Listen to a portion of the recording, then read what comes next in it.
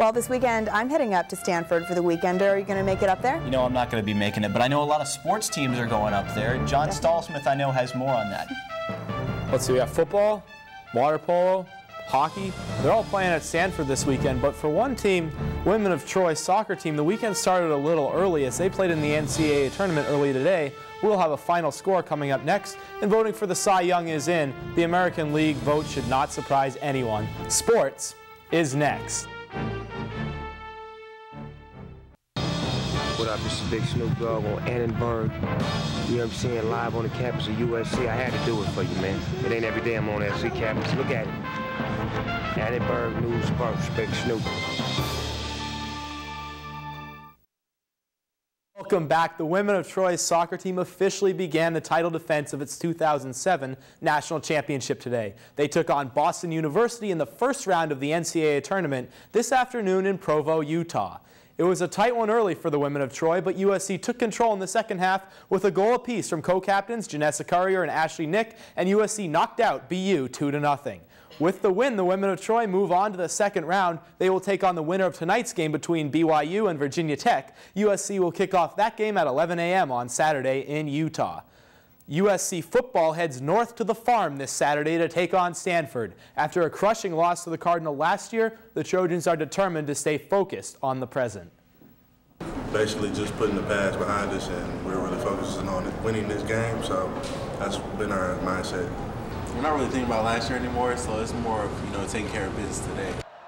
Defense has taken care of business all season. It has posted three shutouts and allowed only a pair of touchdowns in the last six games. The offense will try to get back on track after being held to 17 points last weekend. This will be Pete Carroll's 100th game as USC's head coach. The game kicks off at 4 p.m. on Saturday in Palo Alto. The 10th ranked women's volleyball team concludes the home portion of its schedule this weekend when they play host to unranked Arizona and Arizona State. The women of Troy are currently 7 and 6 in the Pac-10 and looking to make a push for an NCAA tournament bid. Friday's game against 4 and 8 Arizona will start at 7 o'clock before the Trojans send off their seniors against 3 and 9 Arizona State at, on Saturday.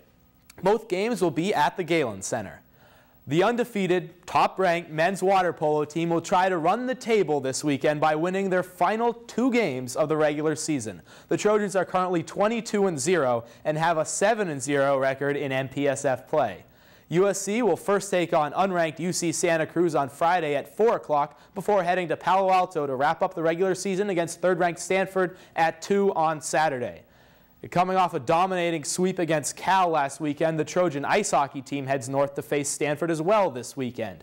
USC is currently in second place in the Pac-8 with a 5-3 conference record, while Stanford is in fifth with a 4-2 Pac-8 record. Both games will be played at the Ice Oasis in Redwood City.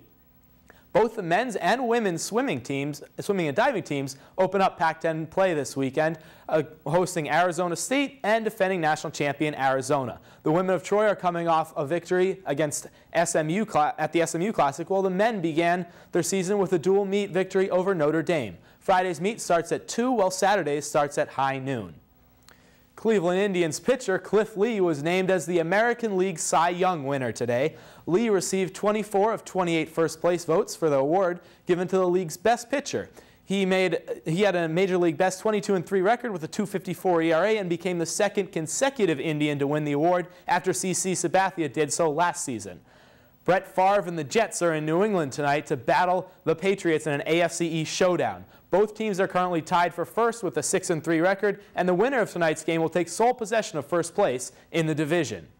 Currently in the second quarter, the Jets are up big, winning 24-6 with 4.57 left.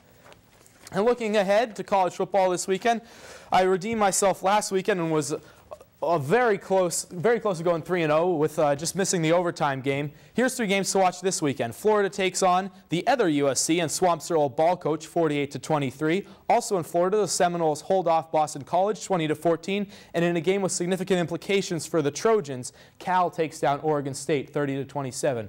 So here's the deal. If, if Oregon State loses a game, with Penn State losing last weekend, USC and Penn State will probably face each other in the Rose Bowl, which could mean an alt-house family reunion on January 1st Definitely. in Pasadena. My whole family will fly out. I'll be the only one in Cardinal and Gold. Well, we'll, we'll be proud of you, though. All right. Thanks, John.